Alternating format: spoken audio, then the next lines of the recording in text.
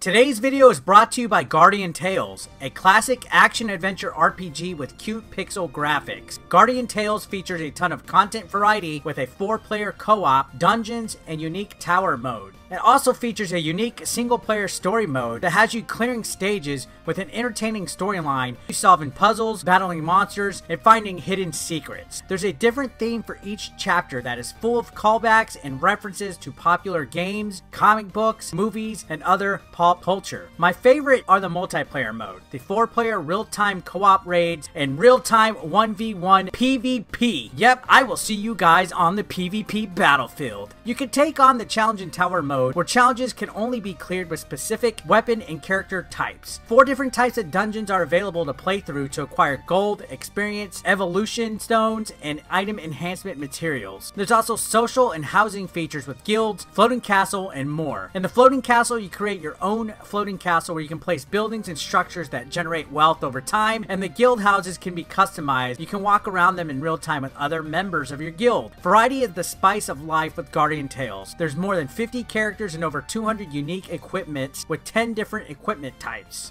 Download link in the description below. Thanks a lot, guys.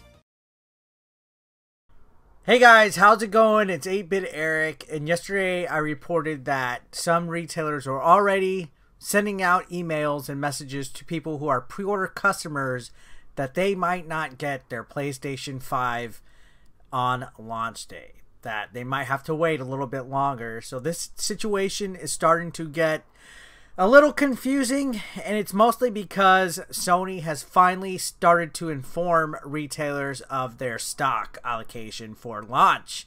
Apparently, there's more pre-orders out than there is inventory that would be coming out around launch date, and it's actually kind of interesting to see how all this is going down.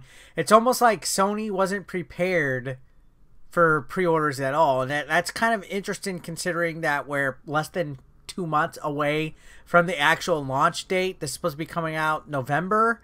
It's already the end of September, and there's already all this chaos. Now, I don't recall the PlayStation 4 launch being this chaotic online, but as far as online pre-orders going, it seems that they did the showcase Wednesday.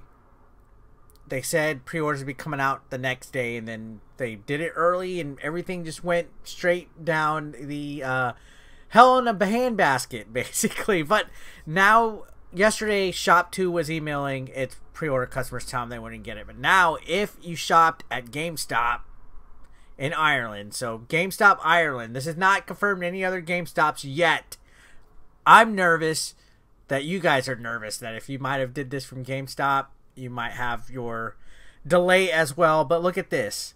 GameStop IE, so Ireland, is telling some customers, PS5 pre-order customers, they'll have to wait until 2021. So they're telling some PS5 pre-order customers they'll wait. They cite circumstances out of our control a day after Sony informed EU retailers out of stock. So, um, Yesterday was ShopTo that was telling customers that their pre-order might be delayed. Now GameStop Ireland. So this isn't just a small retailer like ShopTo. This is GameStop. So Ireland's GameStop chain has contacted some PS5 pre-order customers to tell them not to expect their consoles to arrive before 2021. Ooh, so some people might have to wait until after January to get their PlayStation 5. That's how delayed the stock allocation is looking like, at least in GameStop Ireland. Um, I'm hoping this doesn't go to North America. I want you guys to get your PlayStation 5s. It does suck for the people in Ireland. If you did order one from Ireland, guys, and you're watching this, let me know in the chat down below. Multiple VGC readers have received notice from the retailer claiming that it recently received confirmation that it won't be able to fulfill your pre order until 2021.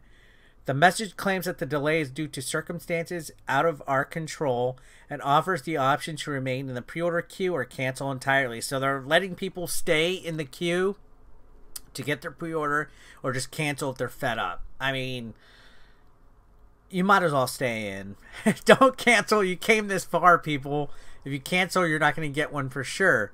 Unless you manage to find one at launch, which I'm starting to doubt there's going to be any available in store at launch date. With how chaotic this is going, you're not going to be able to just to walk in and get a, a PS5 pre-order at all. If they can't even have enough stock to fulfill people who pre-ordered it, you're not going to be able to get one in store if you didn't pre-order. This is going to be a mess. This is like Tickle Me Elmo again. The Irish retailer's message to customers comes less than 24 hours after Sony started informing European retailers of their PlayStation 5 launch day allocation. So this is part of what I said yesterday. It's going to say on Monday, UK's ShopTo claimed it had received PS5 allocation details from Sony, which meant it would not be able to fulfill all of its pre-orders. So Sony is starting to tell people, or starting to tell its retailers, "Hey guys, there's no stock. Um, tell your customers sorry." So this is the message. This is um, the GameStop email. As you can see, they got this email sent their way. And uh, says, Thanks for reserving your place in the queue for the PlayStation 5. We know you want to get your hands on the console as soon as possible, but unfortunately, due to circumstances out of our control, we've now got confirmation that we won't be able to fulfill your pre order till 2021. Ouch. If you choose to hold your current place in the queue, it will ensure that you'll get a console once they become available in future waves. Once we have any more information, we'll let you know when you can expect to receive your console. Oh man, so it's a we'll let you know basis, which means probably probably a long time from now. Alternatively, you are free to cancel your place in the queue at any time by emailing hello at gamestop.ie so the customer care team can process a refund on your deposit. We apologize for any convenience costs. So you have to email to request a refund. That's going to be a mess in its own. Some people are probably going to have months and months and months to wait for their deposit on their refund.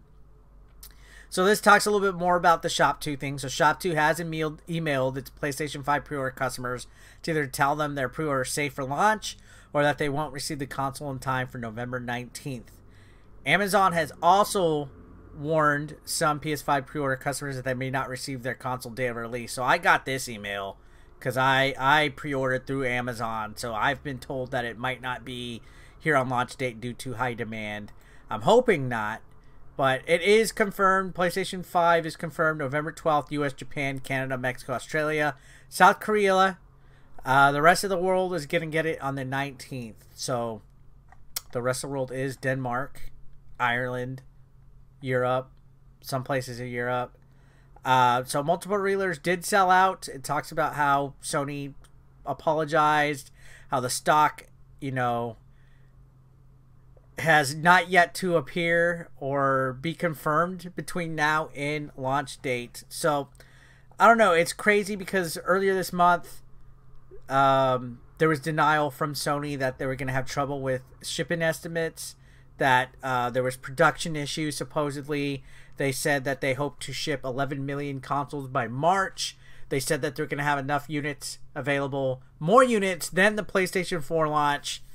Um, that production is ramping up, but they've always kind of said um, that they weren't going to have any supply issues with shipping and stuff like that. But now it's looking like that is not the fact. So again, if you haven't gotten a PlayStation 5 pre-order, unless there's another wave, which this last Friday they did select retailers like GameStop had in store pre orders. Um, I don't know if there might be a wave in October or not. I know some people are holding faith that there will be, maybe.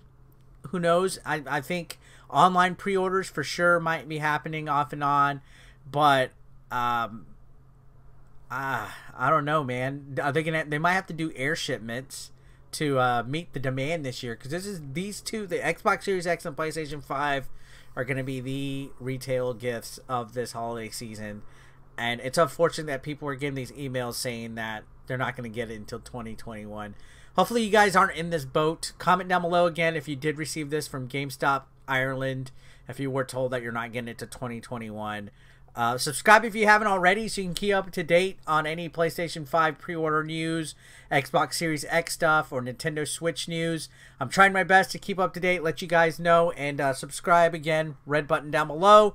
Help me get to 69,000 subscribers. I'll see you on the next one. Peace out. Consider supporting 8-Bit Eric on Patreon for just a dollar a month. Link below in the description. You want to become part of the hashtag 8BE Nation, guys? Well, be sure to pick up your official merch now available online. Link is below in the description. We got classic t-shirts, tank tops, hoodies, and even women's apparel. Don't forget, pick up your official merch now. And while you're at it, guys, feel free to watch the next video, or why don't you catch up on one that you might have previously missed. Thanks again, guys, for all the support. I couldn't do this without you. You guys are amazing, and don't forget to subscribe and click that like button if you are brand new. Thanks again, guys. Peace out.